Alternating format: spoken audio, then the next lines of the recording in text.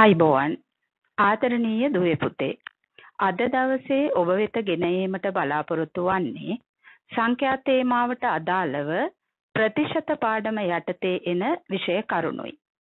අධ්‍යාපන පොදු සහතික පත්‍ර සාමාන්‍ය පෙළ විභාගයේදී ඔබට ප්‍රශ්න පත්‍රයේ අනිවාර්යෙන්ම මෙම පාඩමට අදාළව ප්‍රශ්නයක් ඉදිරිපත් කෙරෙනවා. එසේනම් පියවරෙන් පියවර අනුක්‍රමිකව මෙම ප්‍රතිශත පාඩමට අදාළ විෂය කරුණු කෙරෙහි අවධානය යොමු කරමු. මෙම ප්‍රතිශත පාඩම පහත සඳහන් ශීර්ෂ යටතේ ඔබ සමග සාකච්ඡා කිරීමට බලාපොරොත්තු වෙනවා. ප්‍රතිශතය යන්න හැඳින්වීම භාගයක් ප්‍රතිශතයක් ලෙස දැක්වීම හා ප්‍රතිශතයක් භාගයක් ලෙස දැක්වීම. ලාභ ප්‍රතිශතය හා අලාභ ප්‍රතිශතය ගණනය කිරීම. වට්ටම් හා කොමිස් සම්බන්ධ ගණනය කිරීම. වරිපනම් බදු තීරු බදු හා ආදායම් බදු වැට් බදු ගණනය කිරීම. සුළු පොලිය හීනවන ශේෂ ක්‍රමයේ යටතේ පොලිය වැල් පොලිය. මෙන්න මේ කියන කාරණා යටතේ මේ පාඩම ගොනුගත වෙනවා. එහෙමනම් දරුවනේ ප්‍රතිශතයක් කියන්නේ මොකක්ද කියලා අපි බලන්නට ඕනේ. හරය 100 වූ භාගයක් ප්‍රතිශතයක් කියලා අපි කියනවා. ප්‍රතිශත ලකුණ අපට හුරුයි පුරුදුයි. මේ ප්‍රතිශත ලකුණේ අදහස 100න් එක කියන එක. එහෙමනම් 100න් 100 කියන එක අපිට ලියන්න පුළුවන් 100ට 100 තිරේ දිසන ආකාරයට එය ලියවූ විට කියවන්නේ 100ට 100 කියලා. හොඳයි. දැන් අපි භාගයක් ප්‍රතිශතයක් ලෙස දක්වන්නේ කොහොමද කියලා බලමු. ඒ සඳහා මම උදාහරණ දෙකක් අරගෙන තියෙනවා. පළවෙනි උදාහරණය පහෙන් එක ප්‍රතිශතයක් ලෙස ලියන්න. දෙවෙනි උදාහරණය හතෙන් තුන ප්‍රතිශතයක් ලෙස ලියන්න. හොඳයි. පහෙන් එක ප්‍රතිශතයක් ලෙස ලියන්නේ කොහොමද කියලා අපි බලමු.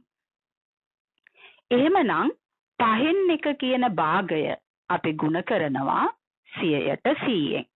පහෙන් එක ගුණ කරනවා 100ට 100ෙන්. එතකොට අපි දන්නවා මේ 100 තියෙන්නේ ලවයේ.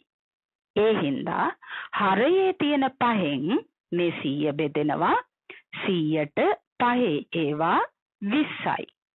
20 ඒවා එක 20 වරක් එක සමානයි 20යි. එහෙමනම් පිළිතුර 100ට 20යි. හොඳයි. දැන් අපි දෙවෙනි උදාහරණය බලමු. හතෙන් තුන ප්‍රතිශතයක් ලෙස ලියන්න කියලානේ අපිට කියලා තියෙන්නේ. එහෙමනම් හතෙන් තුන ගුණ කරනවා 100ට 100ෙන්. ඉස්සරලා ගැටලුව වගේ නෙවෙයි. මේකේ 100 හතෙන් ඉතිරි නැතිව බෙදන්න අපට බෑ. ඒ හින්දා අපි කරන්නේ 100 තුනෙන් ගුණ කරනවා. එතකොට 300යි. තුන් වරක් 100 300යි 300 බෙදනවා අපි 7ෙන් 300 7ෙන් බෙදුවහම දරුවනේ 42යි 7ෙන් 6යි කියලා පිළිතුරක් අපට ලැබෙන්නේ. එහෙමනම් 7ෙන් 3 ප්‍රතිශතයක් ලෙස ලිව්වම පිළිතුර වෙන්නේ 42යි 7ෙන් 6යි. 100ට 42යි 7ෙන් 6යි. එහෙමනම් ඕනෑම භාගයක් සියයට සීයෙන් ගුණ කිරීමෙන් ඊට අදාළ ප්‍රතිශතය අපිට ලබා ගන්න පුළුවන්. මේක අමතක කරන්න එපා. ඕනෑම භාගයක් සියයට සීයෙන් ගුණ කිරීමෙන් ඊට අදාළ ප්‍රතිශතය ලබා ගන්නට පුළුවන්. හොඳයි. දැන් එහෙමනම් අපි බලමු ප්‍රතිශතයක් භාගයක් ලෙස දක්වන්නේ කොහොමද කියලා. එහිදීත් මම ඔබට උදාහරණ දෙකක් ඉදිරිපත් කරලා තියෙනවා. අපි බලමුකෝ පළවෙනි උදාහරණය. 145. සියට හතලිස් පහ තමයි අපිට ප්‍රතිශතයක් හැටියට ලියන්නට තියෙන්නේ භාගයක් හැටියට ලියන්නට තියෙන්නේ එහෙමනම් පුතේ සියට හතලිස් පහ කියන එක ප්‍රතිශත අර්ථ දැක්වීමට අනුව අපි දන්නවා සීයෙන් හතලිස් පහයි කියලා ලියන්නට පුළුවන් මේ සීයෙන් හතලිස් පහ කියන භාග සංඛ්‍යාව අපි දකිනවා මීට වඩා සරලම ආකාරයෙන් ගන්නට පුළුවන්. එනම් භාගයක් සරලම ආකාරයෙන් ලිවිය යුතු නිසා. අපි මොකද කරන්නේ? සියෙන් හතලිස් පහ කියන භාගයේ ලවයත් හරයත් දෙකම බෙදනවා පුතේ පහෙන්. හතලිස් පහ පහෙන් බෙදූ විට අපට ලැබෙනවා පිළිතුර නමයයි සීය පහෙන් බෙදුහම අපට ලැබෙනවා විස්ස. එනම් සීයට හතලිස් පහ කියන ප්‍රතිශතය භාගයක් හැටියට ලිව්වහම සරලම ආකාරයෙන් විස්සෙන් නමයයි. ඒ උදාහරණය ඔබට ඉතා හොඳින් පැහැදිලි වන්නට ඇති. එමනම් අපි බලමුකෝ දෙවනි උදාහරණය. සයට දහතුන. සියයට දහතුන කියලා කියන්නේ සීයෙන් දහතුන. දැන් මෙහිදී මේ භාගය සරලම ආකාරයෙන් අපට ලැබිලා තියෙනවා. සීයෙන් දහතුන කියන භාගය අපිට තවත් සරල කරන්නට බැහැ. එහෙමනම් එක් වතාවකදීම අපට පුළුවන් සීයට දහතුන කියන ප්‍රතිශතය භාගයක් හැටියට සීයෙන් දහත්තුනයි කියලා ලියන්නට. හොඳයි. දැන් මේ වෙනකොට අපි භාගයක් ප්‍රතිශතයක් හැටියටත් ප්‍රතිශතයක් භාගයක් හැටියටත් ලියන්නට ඉගෙන ගත්තා. එහෙමනම් බලමුකෝ දරුවනේ. හොඳයි දරුවනේ. මේ වෙනකොට අපි භාගයක් ප්‍රතිශතයක් ලෙසත් ප්‍රතිශතයක් භාගයක් ලෙසත් ලියන්නේ කොහොමද කියලා දැනගත්තා. එහෙමනම් එතනින් එහාට අපි මොනවද කතා කරන්න කියලා බලමුකෝ. අපිට ඊටා වැදගත් කාරණාවක් කතා කරන්නේ. ලාභ ප්‍රතිශතය හා අලාභ ප්‍රතිශතය ගණනය කිරීම තමයි මේ කොටසෙදී කෙරෙන්නේ. ගනුදෙනුවලදී ව්‍යාපාර කටයුතු වලදී අපි දන්නවා දරුවනේ අපට ලාභ සිද්ධ වෙනවා අලාභ සිද්ධ වෙනවා. එහෙමනම් ලාභය සියයට කොච්චර ප්‍රමාණයකින් සිද්ධ වුණාද කියන එක තමයි අපි ලාභ ප්‍රතිශතය යටතේ කතා බහ කරන්නේ. එහෙනම් ඔබ දකිනවා ලාභ ප්‍රතිශතය අපි හොයන්නේ කොහොමද කියලා.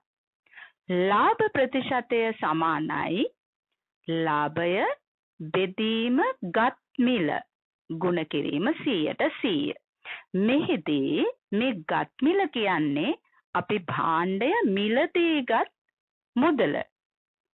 එතකොට ලාභය බෙදීම ගත් මිල මගින් පුතේ ඔබට භාගයක් හැදෙනවා. මේ ප්‍රතිශත ගණන් හදනකොට ඒ භාගය සකස් කර ගැනීම ඉතා වැදගත්. සමහර විට ගැටලු විසඳනකොට ඔබට ලාභය දෙන්නට පුළුවන්. එහෙම නැත්නම් ලාභය සොයාගන්නට වෙන්නට පුළුවන්. ඉතින් අපි උදාහරණ කතා කරනකොට ඒක කොහොමද වෙන්නේ කියලා බලමුකෝ. එහෙමනම් අපි බලමුකෝ අලාභ ප්‍රතිශතය කොහොමද ගණනය කරන්නේ කියලා. අලාභ ප්‍රතිශතය සමානයි අලාභය බෙදීම ගත් මිල ගුණ කිරීම 100ට 100. දැන් එතනත් අලාභය බෙදීම ගත් මිල කියන කොටසෙන් භාගය සකස් වෙනවා. ඒක 100ට 100ෙන් ගුණ කළාම අන්න අපිට අලාභ ප්‍රතිශතය ගණනය කරගන්න පුළුවන්. එහෙමනම් පුතාලා අපි මේ සම්බන්ධතාව ගැටලුවක් විසඳීමට යොදාගන්නේ කොහොමද කියලා බලමුකෝ. බලන්න ඔබට මේ උදාහරණය පැහැදිලිද කියලා. ඔන්න තියෙනවා උදාහරණය. භාණ්ඩයක් විකිණීමෙන් රුපියල් 200ක ලාභයක් ලැබුණි. භාණ්ඩය ගත් මිල රුපියල් 1000 නම් ලාභ ප්‍රතිශතය ගණනය කරන්න. බොහොම පැහැදිලිව ඔබට ගැටලුව ඉදිරිපත් වෙලා තියෙනවා.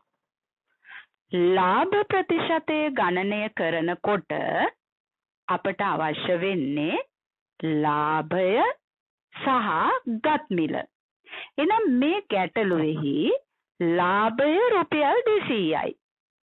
ගත්තේ භාණ්ඩය රුපියල් 1000ට.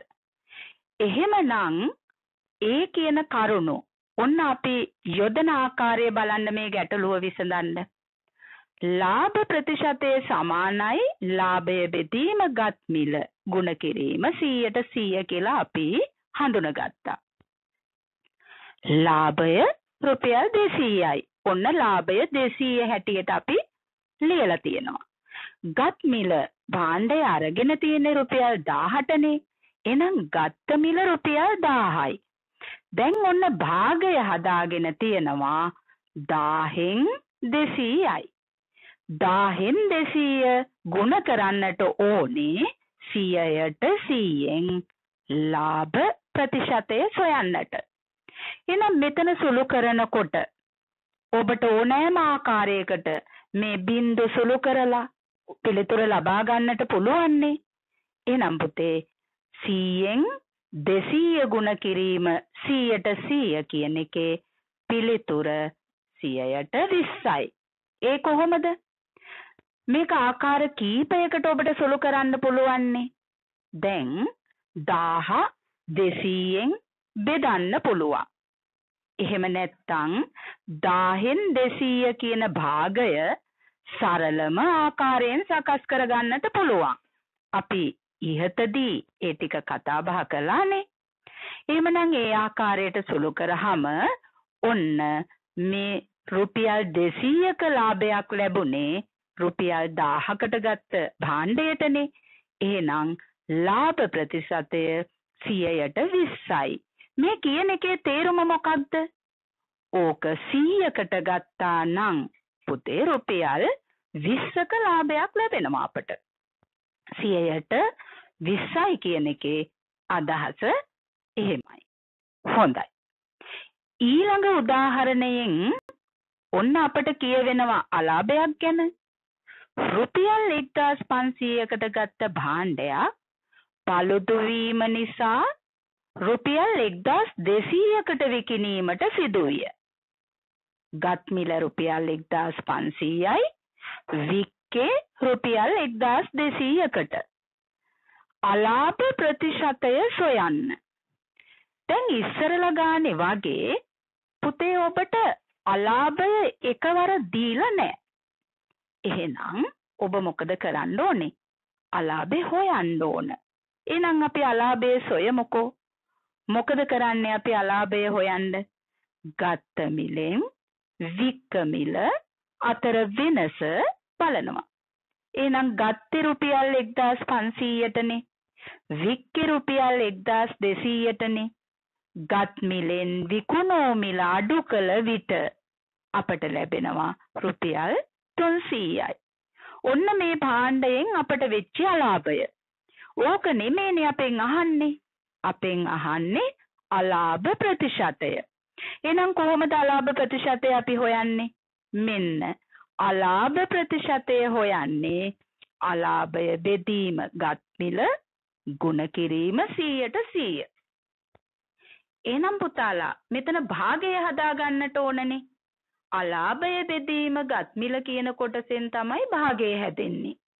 අලාභය රුපියල් 300යි අපි මෙහිදී ඒකක ලියන්නේ නෑ. ගත්මිල රුපියල් 1500යි.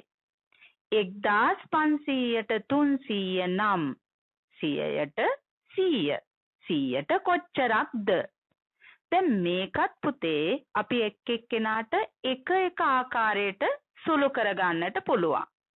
ඔබ පන්ති කාමරයේ ගණන් හදනකොට ඔය ලවයේ සහ හරයේ බින්දු කපලා දානවා.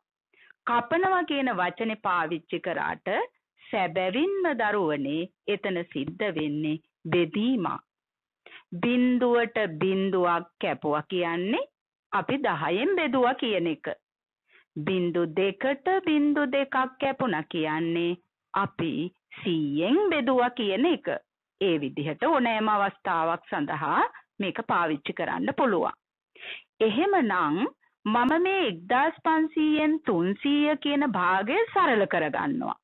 ඔබ දන්නවා 1500 300ෙන් බෙදෙනවා. 1500ෙන් 300 කියන එක අපිට සරල කරගන්නට පුළුවන් පහෙන් එකයි කියලා. පහෙන් එක ගුණ කිරීම 100ට 100. අපි මීට ඉහත කතා කරලා තිබ්බනේ. පහෙන් එක ගුණ කිරීම 100ට 100. ඉහත අවස්ථාවකදී ඒක සුළු කරපු පිළිතුර ඔබට මතක ඇති. එහෙමනම් පුතේ අලාභ ප්‍රතිශතය එනවා අපට 100ට 20යි කියලා. දැන් අපි මේ වෙනකොට කරුණු ගොඩක් අතරා මොනවද කතා කරේ ප්‍රතිශතය හඳුන්වන්නට ඊට පස්සේ අපි කතා කරා භාගයක් කොහොමද ප්‍රතිශතයක් හැටියට ලියන්නේ කියලා. ඊළඟට අපි කතා කරා ප්‍රතිශතයක් දුන්නහම කොහොමද ඒක භාගයක් හැටියට ලියන්නේ කියලා. ඊට පස්සේ ඊළඟට අපි කතා කරේ ලාභ ප්‍රතිශතය සහ අලාභ ප්‍රතිශතය ගණනය කරන විදිහ.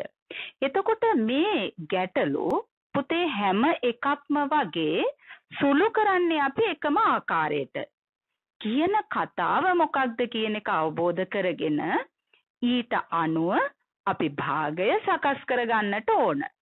භාගය සකස් කරගත්තට පස්සේ සියයට සීයෙන් ගුණ කළහම එහි පිළිතුර එහෙම නැත්තං ඊට අදාළ ප්‍රතිශතය අපිට ගණනය කරගන්න පුළුවන්. හොඳයි. දැන් මෙතනින් එහාට කතා කරන්න වෙන්නේ වෙනත් කාරණා කිහිපයක් සම්බන්ධව. පුතේ ඔබ දන්නවා මේ ගනුදෙනු වලදී විශේෂයෙන්ම අපි භාණ්ඩ මිලදී ගැනීමේදී අපට ලැබෙනවා වට්ටම්. වට්ටමක් කියන්නේ මොකක්ද? භාණ්ඩයක මිලෙන් කිසියම් ප්‍රතිශතයකට අනුව මිල අඩුවීමක්. ඒක තමයි වට්ටමක් කියන්නේ. හැබැයි ඔබ වැරදි අවබෝධයක් ඇති කරගන්නට එපා මේ විදිහට. දැන් ඔබ භාණ්ඩයක් මිලදී ගන්නට වෙළඳ සැලකට ගොඩ වෙනවා. භාණ්ඩයේ මිල ලකුණු කරලා තියෙනවා රුපියල් 1500යි කියලා. මුදලාලි කියනවා මේ රුපියල් 1500 භාණ්ඩය හොඳයි මම ඔබට රුපියල් 1400කට දෙන්නම්කෝ. දැන් එතනත් මිල අඩුවීමක් වුණානේ. හැබැයි ඒක වට්ටමක් නෙවෙයි. ඒක වෙළඳ උපක්‍රමයක්. ඒක ඔබ අවබෝධ කරගන්න ඕනේ. වට්ටම කියන්නේ භාණ්ඩයක මිලෙන් කිසියම් ප්‍රතිශතයකට අනුව මිල අඩු කිරීමක්. එහෙනම් බලන්නකො මෙන්න මේ උදාහරණය ඔබට තේරුම් ගන්න පුළුවන්ද කියලා. රුපියල් 750ක් වටිනා පොතක් සඳහා 100ට 5ක වට්ටමක් ලබා දෙයි නම් ඔන්න ඔබෙන් ප්‍රශ්නය කොටස් දෙකක් අහනවා.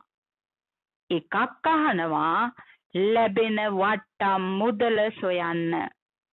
දෙවැනි එකේ අහනවා ගෙවීමට සිදුවන මුදල සොයන්න. එනම් ප්‍රශ්නයේ කොටස් එකයි. භාණ්ඩයේ එහෙම නැත්නම් මේ පොතේ වටිනාකම රුපියල් 750යි. වට්ටම් ප්‍රතිශතය 100ට 5යි. එතකොට පුතේ අපි බලමුකෝ වට්ටම් මුදල හොයන්නේ කොහොමද කියලා. රුපියල් 750න් තමයි අපට 100ට 5ක වට්ටමක් ලැබෙන්නේ. රුපියල් 750න් හල් නයන්න කියලා කියන්නේ ගණිතයේ ගුණ කිරීමට. එහෙනම් රුපියල් 750න් 100ට 5 කියන එක අපට ලියන්න පුළුවන් රුපියල් 750 ගුණ කිරීම 100ට 5යි කියන්නේ පුතේ 100න් 5යි. ඒක අපි දන්නවනේ. 100ට 5යි කියන්නේ 100න් 5යි. දැන් එතකොට මෙතන භාගය තමයි 100න් 5. 750න් 100න් 5ක් කොච්චරද කියලා අපි සුළු කරලා බලනවා. දැන් මේකත් සුළු කරනකොට ඔබට ඕනෑම ක්‍රමයක් පාවිච්චි කරන්නට පුළුවන්. ඔබ කැමති ආකාරයකට සුළු කරගෙන ඔබේ ශක්තිය අනුව මේක සුළු කරගෙන අපි පිළිතුරට යනවා. එහෙමනම් වට්ටම් මුදල කීයද? රුපියල් 37යි 750යි. රුපියල් 37යි 750යි. එහෙමනම් පුතේ මේ රුපියල් 750ක් වටින පොත සඳහා අපට මිල අඩු වෙනවා රුපියල් 37යි 750. දැන් බලමුකෝ අපි ගෙවීමට සිදුවන මුදල කොච්චරද කියලා. ආ ගෙවීමට සිදුවන මුදල ක්‍රම දෙකක් යටතේ අපිට ගණනය කරන්න පුළුවන්. ඔන්න පුතේ ඔබට පළවෙනි ක්‍රමය ඉදිරිපත් කරලා තියෙනවා. කොහොමද? රුපියල් 750න් අර වට්ටම් මුදල අඩු කරනවා. එහෙනම් රුපියල් 750න් අඩු කරනවා අපි රුපියල් 37යි 750. ඒ අඩු කළාම එන්නේ කීයද?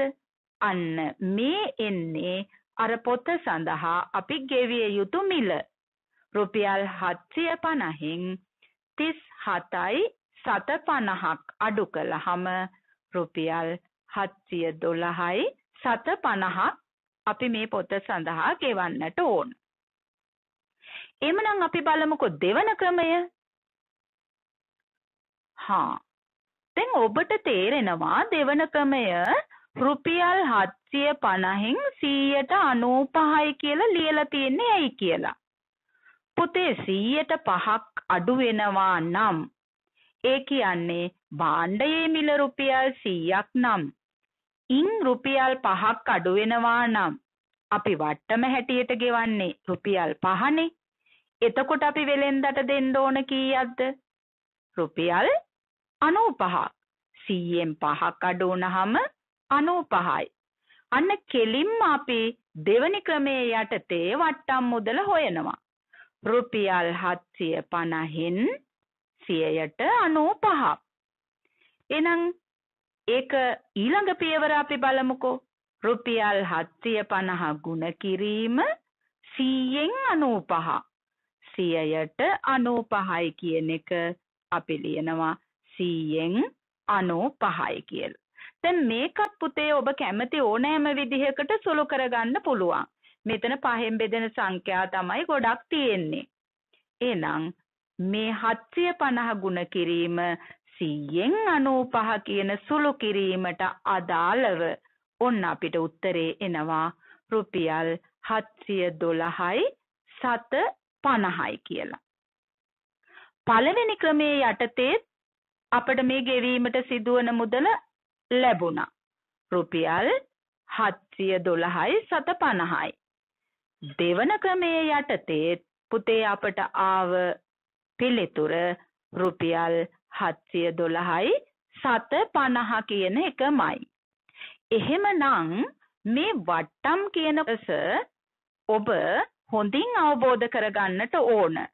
මේ දී ඇති වට්ටම් ප්‍රතිශතයෙන් කියවෙන දේ ඔබ අවබෝධ කරගන්නට ඕන. එතකොට ඔබට ගානක් හදන්න හරි ලේසි.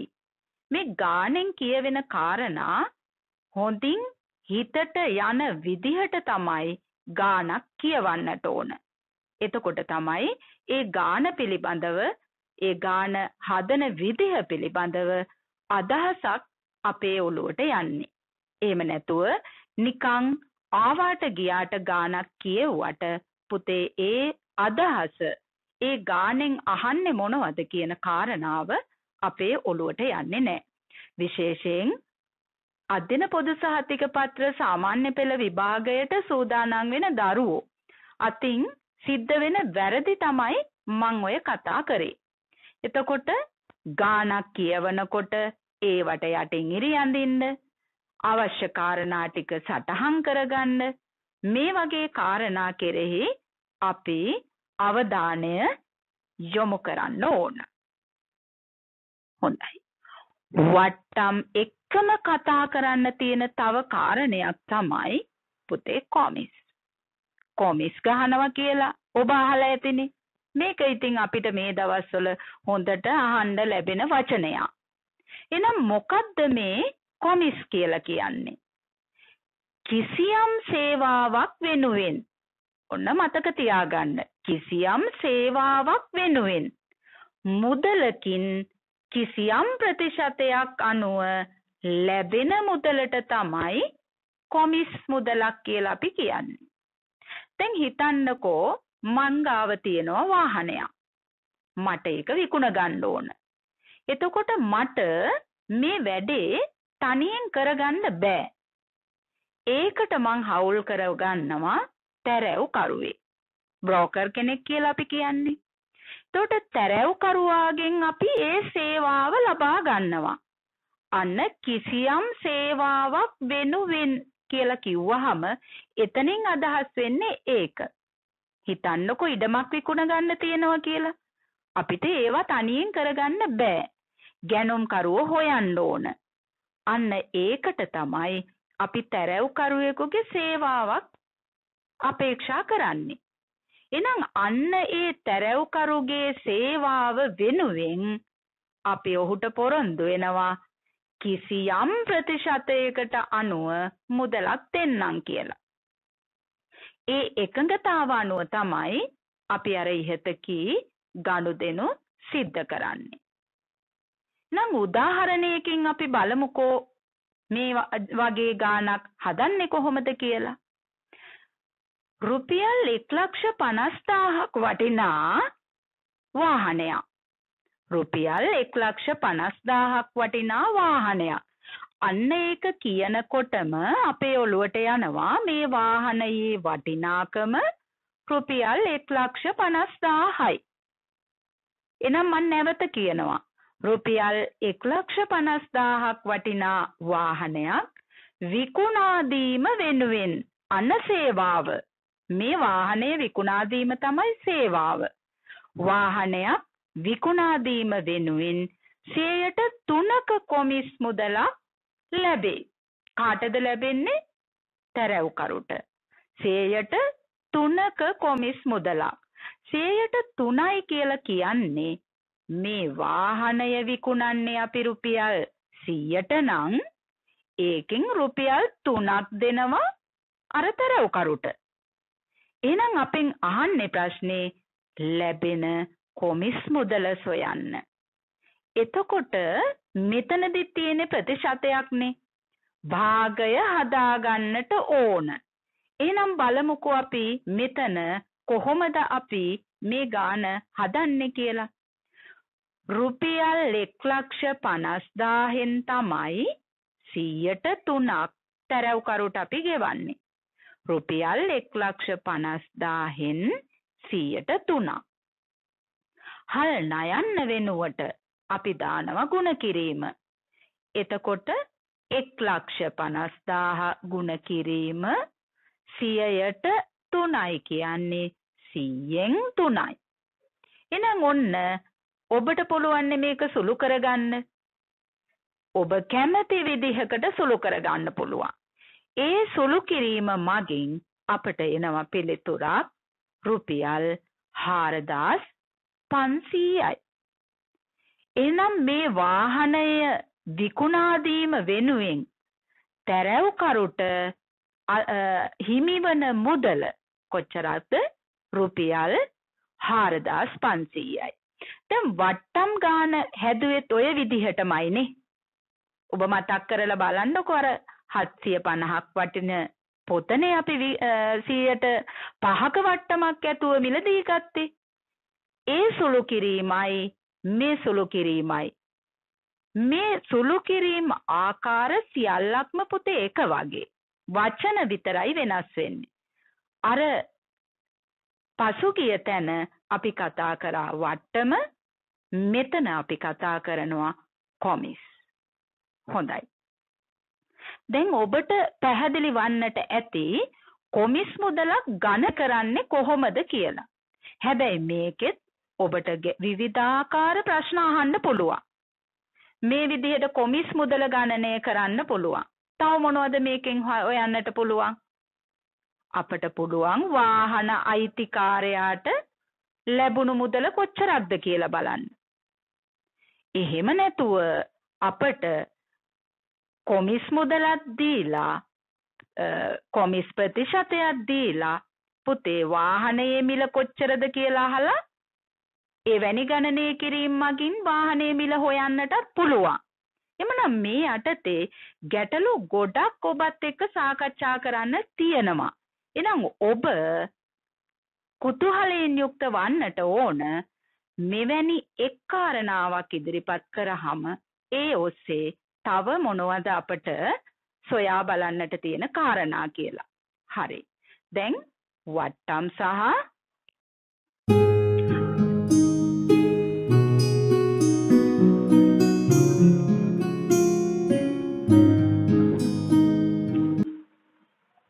හොඳයි දරුවනේ. එහෙමනම් ප්‍රතිශත ඉතිරි කොටස තුලින් යලි හමු වෙමු. ආයිබෝවන්.